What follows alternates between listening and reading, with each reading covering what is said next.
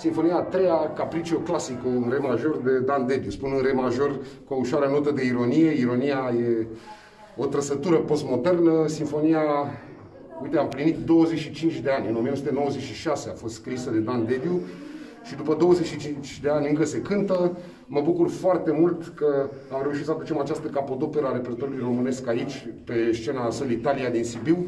M-am bucurat ca de fiecare dată să-mi reîntâlnesc colegii. Orchestra e într-o formă foarte bună și vă așteptăm să ne întâlnim în sală, cu bine, sănătoși cu toții.